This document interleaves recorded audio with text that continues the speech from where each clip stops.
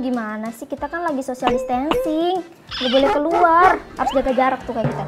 Jaga jarak. Ngapain lagi dong? Gue bosen nih.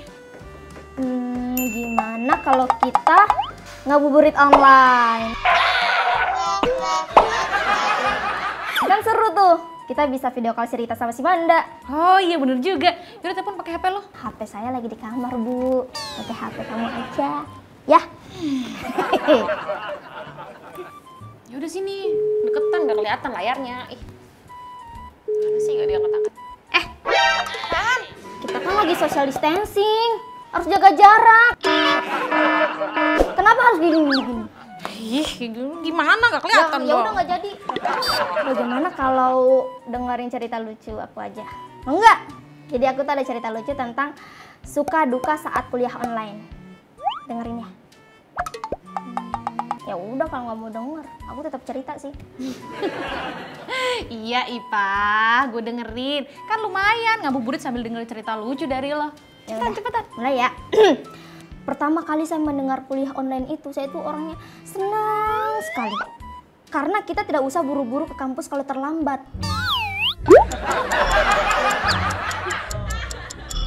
Beda kalau kita masuk ke kampus. Kalau kita terlambat, kita harus siapin alasan yang bagus gitu biar nggak dimarahin dosen. Kayak waktu itu kan, saya pernah terlambat tuh datang ke kampus, dimarahin sama dosen. Tahu nih, sudah lipat terlambat terus. Kenapa sih terlambat? Maaf pak, saya terlambat karena eh, kakak saya itu pak masuk rumah sakit, jadi saya antar dia tadi ke rumah sakit. Alah bohong kamu. Saya tadi ketemu kakak kamu di pasar. Bapak juga bohong. Saya kan tidak punya kakak. itu ya. Sama-sama bohong dong. Sama-sama bohong, ketawa bohongnya. Dan banyak yang bilang kuliah online itu enak gitu. Jadi kita nggak perlu capek-capek dandan, nggak perlu mandi terus rapi-rapi, terus nggak usah pakai parfum. Itu omongan orang, kata orang. Kalau saya beda, saya kan orangnya sangat memedulikan penampilan. Hmm. Jadi harus tetap make up, harus tetap click on. Bukan apanya. Karena kemarin saya coba natural, saya malah disangka pembantunya Musdalifah. Padahal saya ini Musdalifahnya. Tapi keren juga Musdalifah punya pembantu.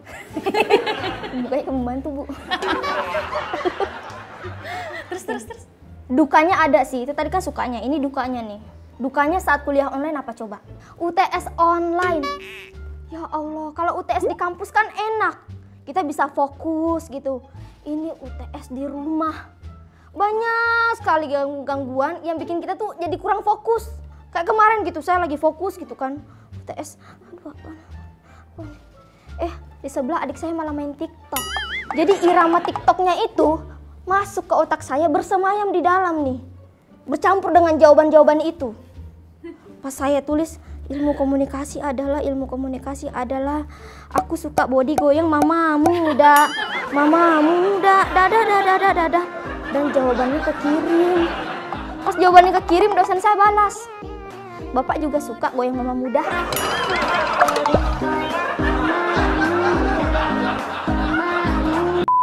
Dukanya itu bukan cuma tes online. Yang paling memprihatinkan apa coba? Wisuda online. Wisuda online loh. Wisuda kan momen kan? Momen kita foto sama rektor. Momen kita foto sama teman-teman, sama keluarga. Ini ya Allah. Wisuda online bayangin coba. Kalau wisuda di luar kan backgroundnya bagus kan? Perpustakaan gitu keren. Ini wisuda di rumah. Backgroundnya apa coba? Lemari plastik. Udah mana di pintunya ada poster Diana Pungki. Belum lagi kalau kita udah fokus gitu ya. Fokus kan terharu ya wisuda. Terima kasih Pak, terima kasih Pak. Iya Pak, sama-sama iya. Eh malah dilempar bantal sama Bapak. Disangka video call sama pacar. Apa lu? Video call sama pacar lu nangis-nangis lu. Orang lagi wisuda. Tuh. Lucu nggak? Lucu. Alhamdulillah kalau lucu. Tapi kasihan ya. Kasihan. Kasihan dilempar bapak. Malah disangka video sama pacar. Kasihan lagi yang disangka pembantu Musdalifah. Saya bilang, Aduh. Allah Gak kerasa ya pak, ngakak-ngakak. Eh, Udah buka puasa aja. Alhamdulillah. Ya udah, Karya, gue mau ambil sesuatu. Apaan? Nih, Wah. buat buka puasa. Tapi sebelum kita minum, kita baca doa dulu ya. Ayo. Amin. Bismillahirrahmanirrahim.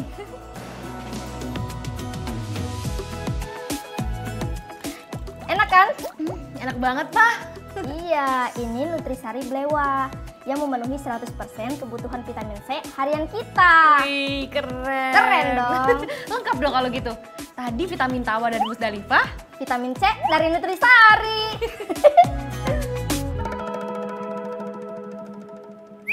Pantai di timur jernih sekali, jernih, jernih seperti ini nih. Maksudnya kita bisa lihat langsung, jernih. Saking jernihnya itu siang-siang itu ikan jantan tidak berani dekat-dekat dengan ikan betina. Tidak berani, karena kita dari atas langsung lihat. Eh, cie nafsu, eh bulan puasa. Malu dia, langsung berenang menjauh. Kadang-kadang berubah jadi karang.